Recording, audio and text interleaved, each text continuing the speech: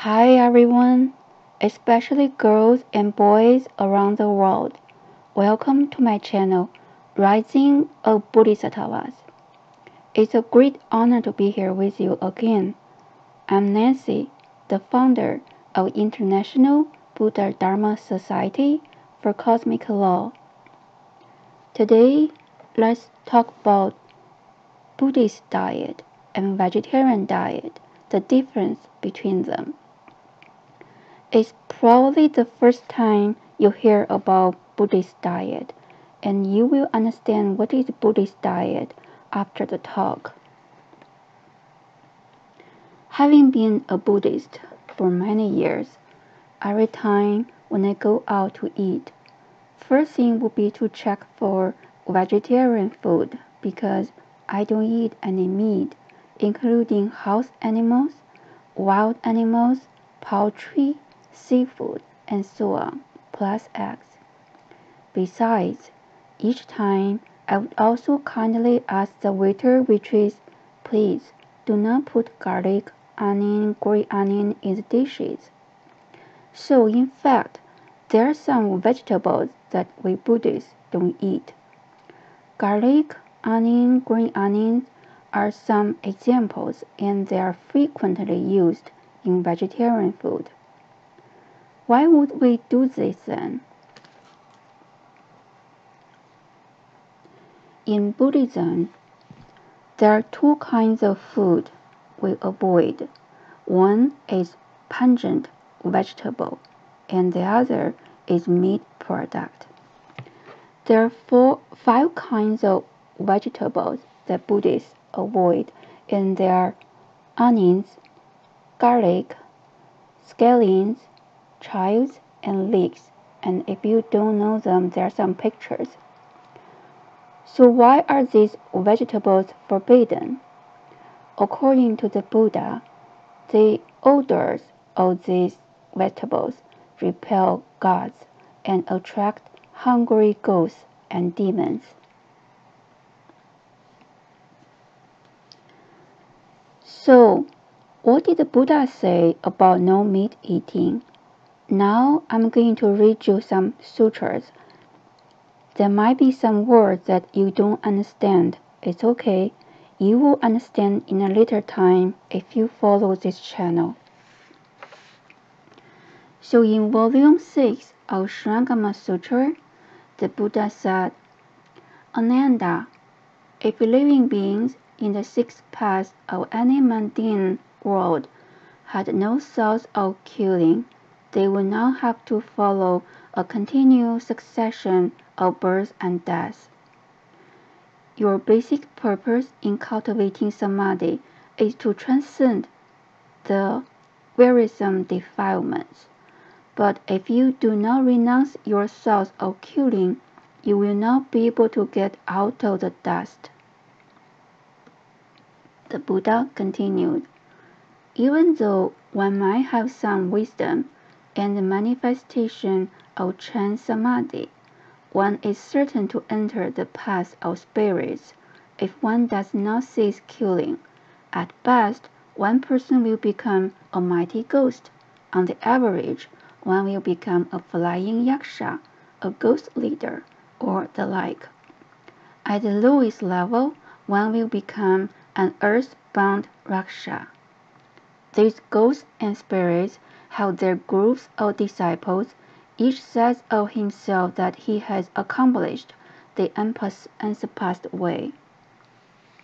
The Buddha continued. After my extinction, in the Dharma ending age, these hordes of ghosts and spirits will abound, spreading like wildfire as they argue that eating meat will bring one to the Buddha way.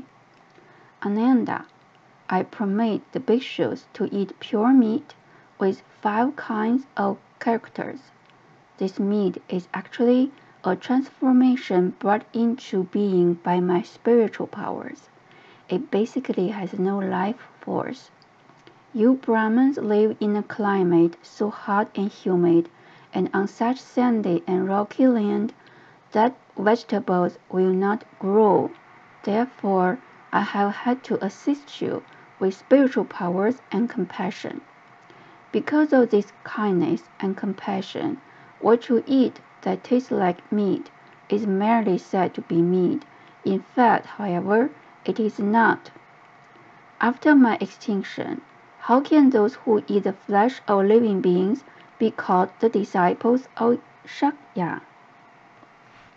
You should know that these people who eat meat may gain some awareness and may seem to be in samadhi, but they are all great rakshasas. When their retribution ends, they are bound to sink into the bitter sea of birth and death. They are not disciples of the Buddha.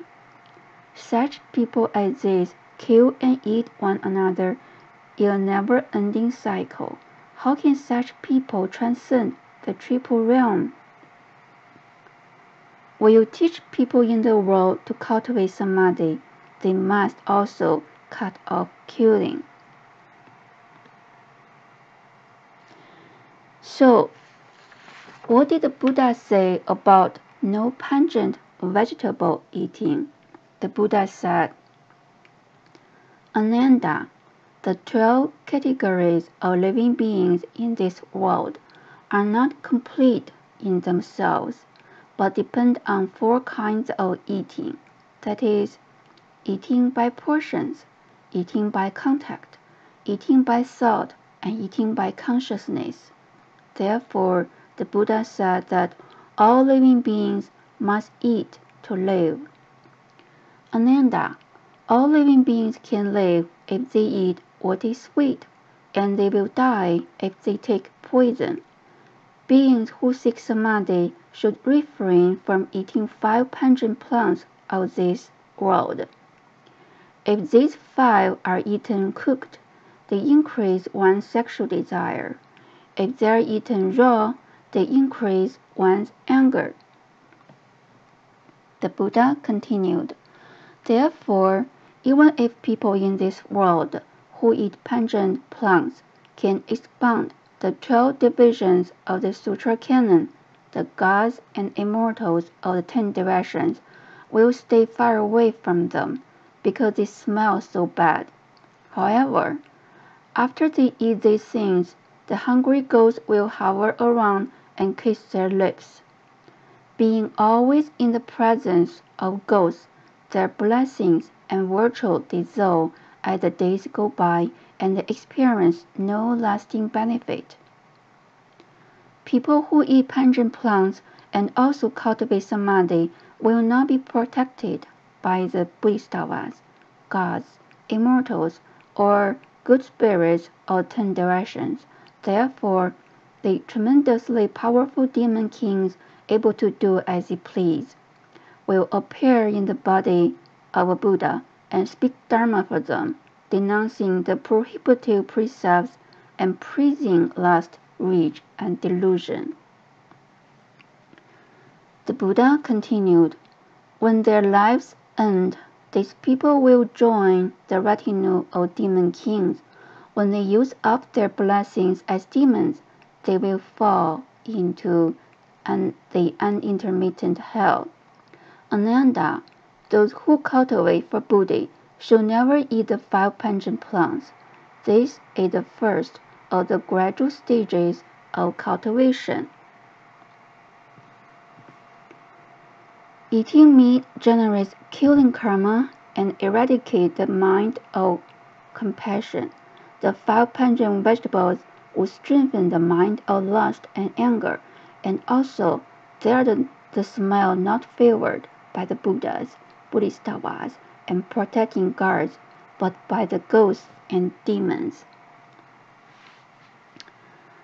If you decide to switch Buddhist diet, take your time because each one will take different road at different speed. You do it according to your body and your mind. Don't force yourself to do that. Again, some might arrive there in just one step, some might take years to get there. Everyone is different.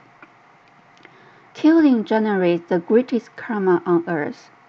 No meat eating is also an order from above. above. Buddhist diet is the need of our own body, the need of the earth, and the need of human development. Again, it's a great honor to be here with you. Thank you. See you next time. Bye.